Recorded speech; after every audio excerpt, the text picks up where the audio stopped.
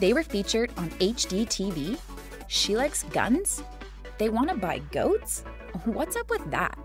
Hey everyone, welcome back to my channel. Before we continue on with the video, be sure to subscribe so you don't miss out on any of my future videos. I'm going to stop the intro here and let's get into it. Today's video will be about Triple L Rustic Designs. The video is broken down into three main parts who the people behind the channel are and what they do on their channel, which is pretty interesting as it isn't something that we see every day on the YouTube platform these days. The last part of the video is where we discuss some fun facts about the people behind the channel. So be sure to stick around until the end of the video to hear some interesting facts about them. Now, you may be wondering who are the people behind Triple L Rustic Designs? The channel was first created by Trey Larson and his dad. A while later, the dad stopped appearing in the videos. Instead, his wife Zoe Larson started being in the videos. They are located in Florida, USA, where they run their business and channel. The channel's niche focuses on a sawmilling and lumber support business that they run, which is the same as the channel name, Triple L Rustic Designs. Both Trey and Zoe have full time jobs while running the channel and business. They also have another channel together called Home Between the Oaks, which they use to vlog their house and their relationship. Trey has a channel of his own just named after him, Trey Larson, which focuses on his life and his interests such as fishing, guns, and hunting.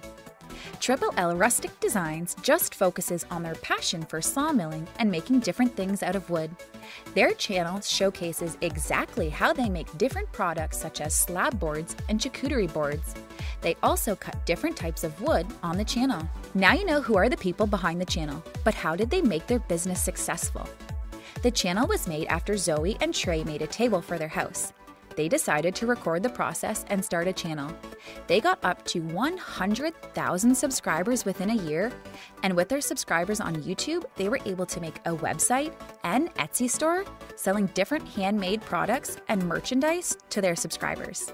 They also offer sawmilling services to the public for a rate of $75 an hour. Their channel, however, stands out from other channels because of Zoe.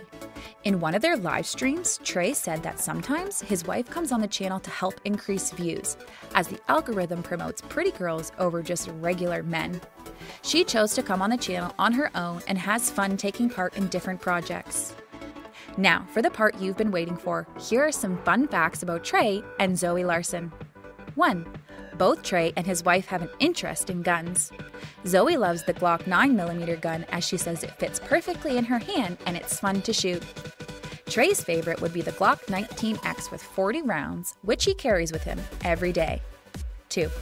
Trey and Zoe both work and met in a law enforcement agency, and Zoe is a police officer. 3. They live on a farm but without any farm animals yet.